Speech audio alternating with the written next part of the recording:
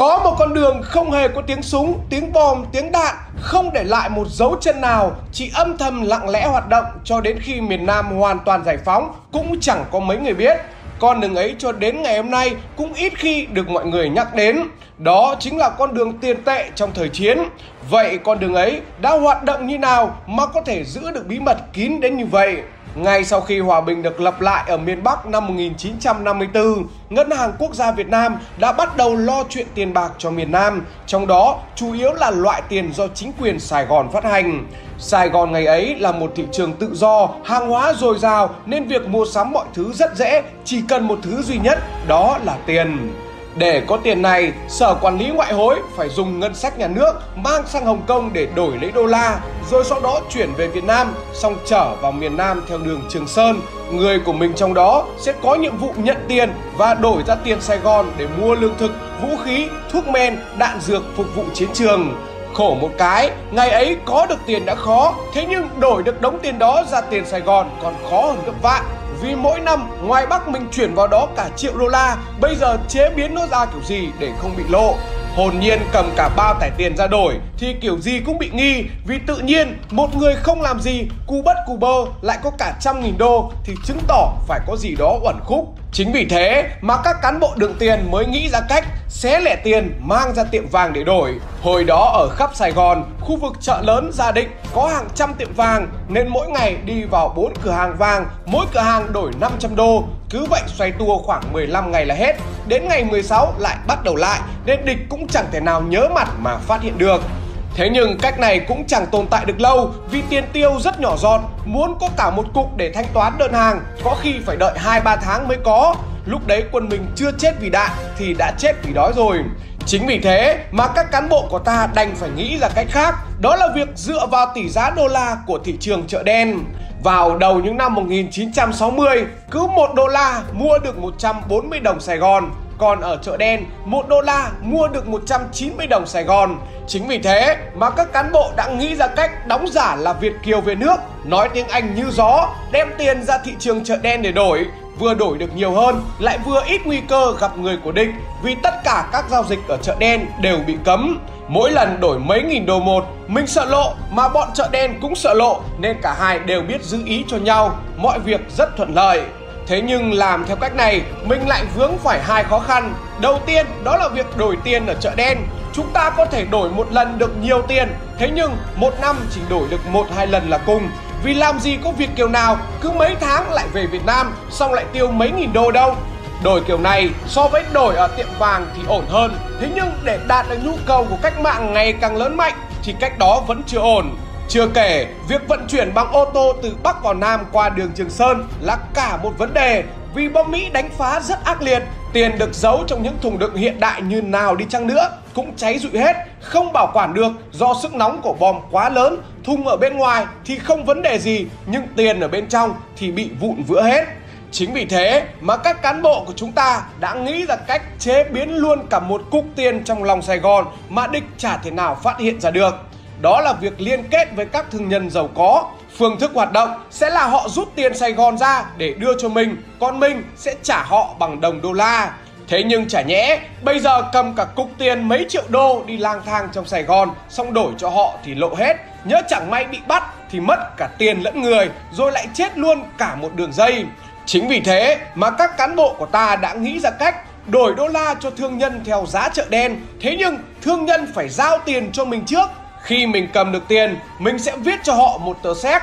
Họ cầm tờ séc đó qua ngân hàng ở Hồng Kông để nhận đô la. Câu hỏi đặt ra ở đây là việc chế biến tiền của chúng ta là việc tuyệt mật. Nếu chẳng may bị lộ ra tờ séc đó thì lộ cả đường dây chuyển tiền. Vậy làm thế nào mà tồn tại được suốt cả chục năm? Tất nhiên, tờ séc đó chẳng thể nào ngay ngắn như những tờ séc có dấu đỏ ở ngân hàng cả. Nó đơn giản chỉ là một tờ lịch trong cuốn lịch treo tường, bên trong ghi thông tin của người nhận tiền, số tiền cần nhận. Thế nhưng tất cả đều được mã hóa bằng số, nhìn vào giống như số điện thoại chứ không có gì cả. Nếu mà có bị bắt thì cầm tờ lịch đó cũng chẳng ai hiểu gì mà chỉ nghĩ đó là tờ giấy lộn. Thế nhưng tại sao mà các thương gia họ lại chấp nhận cách giao dịch đó của mình? Rõ ràng chả có một giấy tờ gì hợp pháp cả. Nếu mình bùng thì họ kiện ai? Tất nhiên họ sẽ có những nghi ngờ, thế nhưng những người mà chúng ta chọn để giao dịch hồi đó trước hết là những người có cảm tình với cách mạng. Hơn nữa, việc đổi tiền là chúng ta đổi theo giá của chợ đen nên họ cũng được lợi. Chưa kể, không phải gặp lần đầu tiên là đổi cả một đống tiền to luôn mà phải từ từ để tạo lòng tin. Khi tin tưởng nhau rồi thì bộ máy của ta cứ thế mà chạy. Thế nhưng đó mới chỉ là cách để có tiền Sài Gòn và đó không phải là tất cả. Chúng ta cần phải có cả tiền bạc Thái, tiền kíp Lào và đặc biệt là tiền ria của Campuchia để có thể mua những nhu yếu phẩm như gạo, thực phẩm, quần áo, thuốc men, hóa chất từ nước bạn. Vậy làm thế nào để có tiền ria của Campuchia mua được đồ bên đấy rồi thì vận chuyển về Việt Nam kiểu gì để không bị phát hiện? Tiền đô la và tiền Sài Gòn là hai đồng tiền quan trọng nhất của ta trong thời chiến. Thế nhưng nó không phải là tất cả. Muốn mua được súng ống đạn dược thì cần phải mua từ ngoài Bắc chuyển vào hoặc mua từ các nước láng giềng rồi chuyển sang. Thế nhưng việc mua từ ngoài Bắc chuyển vào thì cực kỳ tốn kém vì Mỹ đánh bom rất ác liệt, rủi ro rất cao, mua xong chẳng biết có đến được miền Nam hay không hay lại mất trắng giữa đường. Chính vì điều đó, buộc ta phải dùng phương án là mua từ các nước láng giềng rồi chuyển vào miền Nam. Câu hỏi đặt ra bây giờ là mua từ nước nào thì thuận lợi nhất và dùng tiền gì để mua được nó. Ngày đó, Thái tử Sihanouk là quốc trưởng Vương quốc Campuchia, đất nước có biên giới giáp với Việt Nam, là người có cảm tình đặc biệt với Bác Hồ. Cùng với đó, Sihanouk lại rất kính trọng người thầy của mình là giáo sư Ca Văn Thỉnh, hiện đang là đại sứ tại Vương quốc Campuchia. Chưa kể, Campuchia lại có một lợi thế cực kỳ lớn, đó là cảng biển Sihanoukville. Chính vì thế mà chúng ta chọn đồng ria của Campuchia làm đồng tiền trung chuyển để mua nhu yếu phẩm, súng ống, đạn dược. Thế nhưng đó mới chỉ là bước đầu. Câu hỏi đặt ra là làm thế nào để có được nó và có được nó để mua hàng rồi thì làm cách nào để có thể vận chuyển được nó về Việt Nam? Để trả lời cho câu hỏi này, Tổng cục Hậu Cần đã cử đồng chí Đức Phương sang Campuchia đóng vai là một ông chủ hãng buôn lớn của xứ Chùa Tháp. Miền Bắc cung cấp cho ông đủ vàng, ngoại tệ giúp ông có thể hoạt động kinh doanh để có tiền ria Campuchia. Cùng với đó là mở rộng quan hệ với các quan chức cao cấp. Trong ngày sinh nhật của Bộ trưởng An ninh Campuchia, ông Đức Phương đã tặng hẳn một chiếc xe Mercedes mới toanh để lấy lòng. Để đáp lễ, Bộ trưởng An ninh đã tặng lại ông Đức Phương chiếc xe mình đang đi để làm kỷ niệm. Mặc dù vô tình, thế nhưng từ ngày có chiếc xe cũ của Bộ trưởng An ninh, ông Đức Phương được mệnh danh là bất khả xâm phạm. Ngồi trên chiếc xe này, đi đến đâu cảnh sát cũng không dám động tới, chỉ biết ngoan ngoãn cúi chào. Thế nên những chiếc xe chở hàng, chở tiền đều thực hiện chót lọt nhờ ông Đức Phương. Cảng Sihanoukville ngày đó là một cảng cực kỳ quan trọng đây là cảng giúp chúng ta nhận hàng tiếp viện rất nhiều từ các nước đồng minh. Sở dĩ phải vận chuyển qua cảng biển này bởi đường bộ thì quân địch đánh phá quá ác liệt mà đường biển thì từ vụ Vũng Rô năm 1965 chúng ta đã bị lộ nên việc vận chuyển vũ khí, lương thực qua đường biển đã bị kiểm soát cực kỳ gắt gao nên cũng rất khó. Phí bồi trơn cho các tướng tá qua cảng Sihanoukville cực kỳ cao, cứ 2 đô cho 1 kg vũ khí, các loại hàng hóa khác thì là 1 đô trên 1 kg. Mức giá này luôn thay đổi tùy theo tuyến đường, tùy theo tướng nào quản lý tuyến đường đó. Có những thời kỳ tướng bên đó không chịu lấy tiền mà đòi lấy vũ khí với tỷ lệ 30%, cứ 10 khẩu súng thì họ lấy 3 khẩu. Chưa kể, có được vũ khí hàng hóa rồi thì mình còn phải thuê kho bãi nữa để chứa. Việc thuê kho bãi này phải dùng tiền ria. Mặc dù phí cao như vậy, thế nhưng mình vẫn phải chấp nhận Tính đi tính lại, vận chuyển theo cách cũ của ta, bom đạn nó đánh còn mất nhiều hơn, thế nên vẫn phải cắn răng để chịu. Mọi thứ tưởng chừng suôn sẻ cho đến năm 1970 khi London đảo chính chính quyền Sihanouk, khó khăn bắt đầu ập đến với chúng ta. Sihanouk là người ủng hộ Việt Nam nhưng London lại là người được Mỹ hậu thuẫn. Chính vì thế mà ông ta làm đủ mọi cách để ngăn chặn đường tiếp tế của mình qua đất Campuchia. London không biết cụ thể có bao nhiêu tiền ria đang được cất giữ trên đất Việt Nam. Thế nhưng hắn đủ thông tin để biết rằng Việt Nam dùng rất nhiều tiền để giải quyết những nhu cầu trên đất Campuchia như mua chuộc lính, sĩ quan, mua sắm hàng hóa. Chính vì thế mà London đã ra lệnh đổi tiền và phong tỏa toàn bộ tuyến biên giới để nhằm mục đích bóp chết toàn bộ số tiền ria mà mình đang có trong tay. Chủ trương đổi tiền được giữ bí mật và chỉ công bố vào ngày bắt đầu đổi tiền là ngày 24 tháng 2 và kết thúc vào ngày 10 tháng 3 năm 1970 trước khi đảo chính một tuần. Chính vì thế mà quân ta chẳng thể nào biết được. Thế nhưng may một cái, để tiến hành đổi tiền thì London phải in những tờ giấy liên quan đến đổi tiền như các bảng thông báo đổi tiền ở đâu, các quy định đổi tiền như thế nào. Chính những tấm bảng này mà người của ta mới biết được mọi toan tính của London. Hắn đến xưởng in Waform, xưởng in hiện đại nhất và cũng là xưởng in mà họ tin tưởng nhất thời bấy giờ để in giấy tờ. May cho quân ta, người quản lý nhà in lại là thanh niên Việt Kiều Trần Trí Năng. Cha của anh này là người gốc An Giang, sống lâu năm trên đất Campuchia và trở thành viên chức cao cấp trong kho bạc quốc gia của xứ Chùa Tháp. Cả hai cha con Trần Trí Năng đều là người của mình. Trước đó, bộ đội ta đã từng tính đến chuyện đưa Trần Trí Năng vào vị trí trọng yếu của nhà in Waform, vừa để kinh doanh, vừa để in ấn những tài liệu bí mật của quân ta. Chính vì thế mà đã gửi Trần Chí Năng sang Hồng Kông để học về kỹ thuật in. Khi trở về xưởng in, Trần Chí Năng được coi như một chuyên gia hàng đầu của xưởng in này, được quyền quản lý mọi thứ ở đây.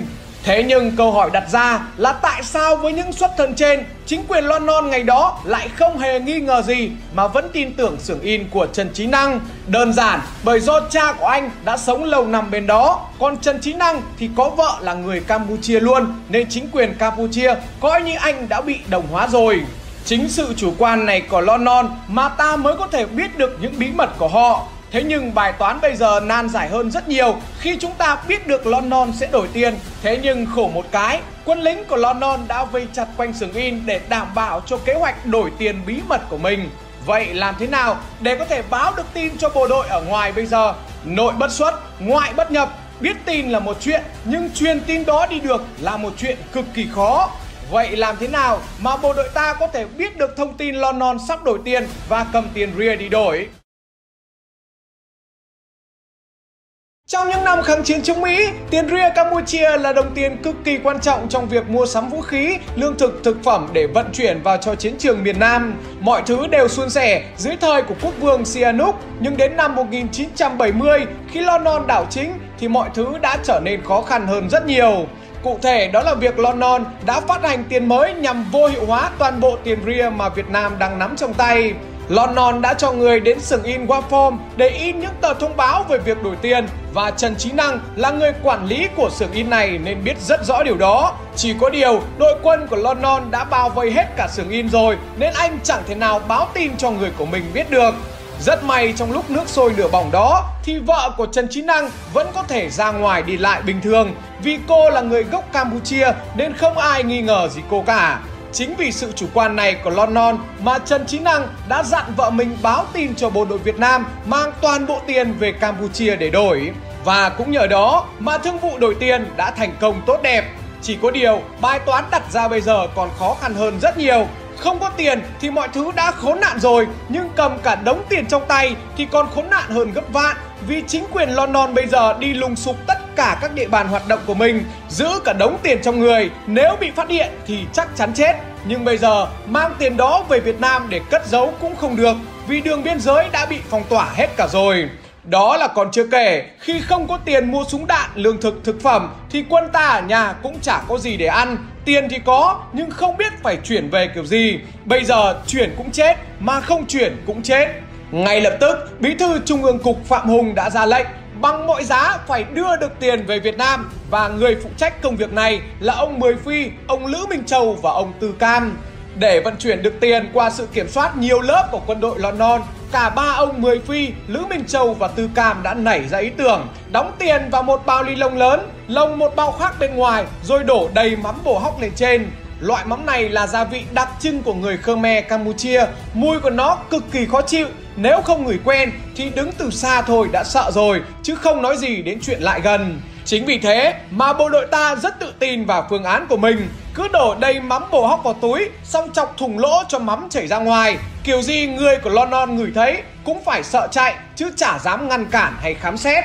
Thế nhưng nếu chẳng may đi qua các trạm gác, Họ vẫn bắt đứng lại để kiểm tra thì sao? Nếu phương án này xảy ra, Thì tất cả 140 chiến sĩ của ta phục kích ở khu vực trạm gác sẽ ra tay.